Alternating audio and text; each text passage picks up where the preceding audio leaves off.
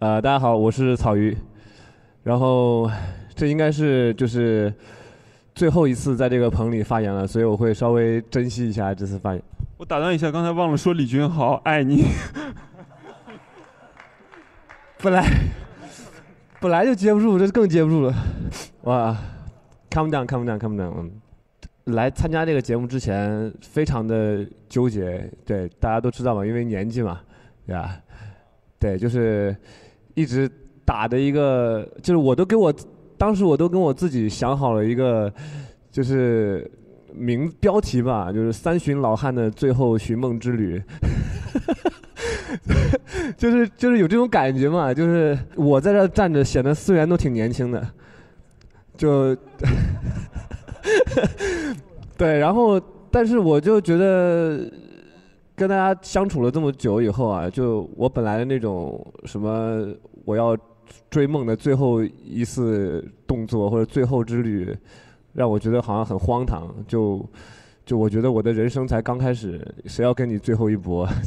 现在我有这种感觉，所以谢谢在座的所有人。对，就是你们让我感觉到，我感觉又好像变年轻了啊。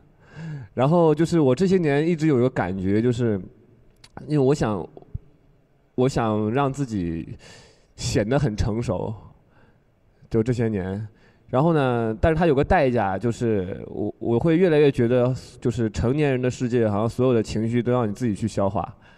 然后我已经好些好些年，就是没有过把自己的想法，就最真实的想法分享跟。其他人，或者说是把我最难受的时候的那个感受分享给其他人，我只会分享开心的事情，所有不开心的事情我都是放在心里的，已经也我也不知道多长时间了，反正已经习惯了这种生活。然后其实很没有人知道啊，就是我看起来，哇，你们都想象不到，我有时候我自己一个人坐家里摸着我家猫。坐在那个窗台那个飘窗上面，就看底下那个城市那个高架。我家楼下正好是高架，那个车流在穿梭，就在那哭。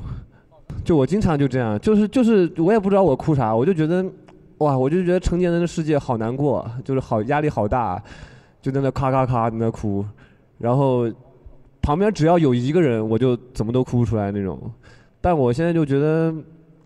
也没有必要啊。然后来到这里以后，真的是相当于就是重新把我这个门给开了吧，大大门又重新打开了。对，呃，说的有点随意，但是其实对我来说，真的意义挺重大的。对我这人就是很容易把一些意义重大的事说得很随意，我也不知道为什么。对，所以还是再次谢谢各位。呃，我想说，呃，跟小航说两句话啊。曾经人丁兴旺的十八号宿舍，过几天可能就只剩你一个了，就是听起来挺惨的，对。但我们，呃，不出意外的话，行李应该都在，就在还好。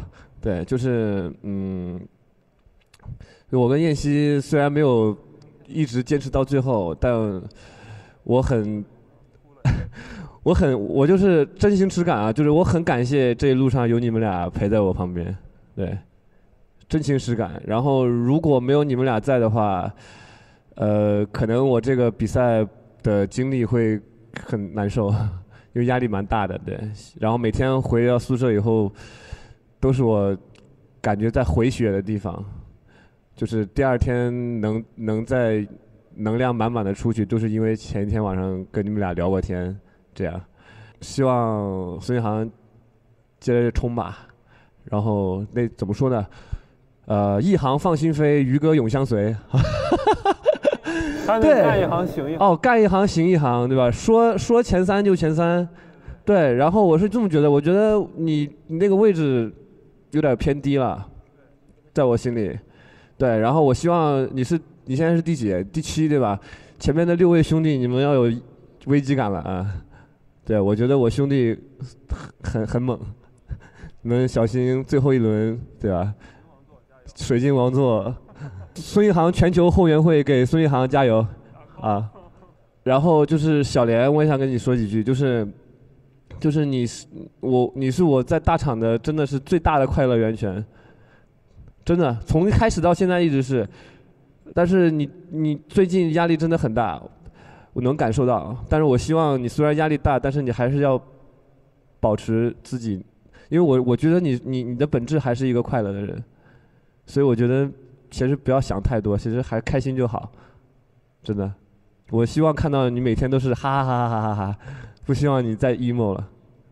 加油，小莲。对。然后我的草鱼的半年爱豆体验券今日到期，然后希希望我之后越来越好吧，希望你们也越来越好，谢谢大，谢谢大家。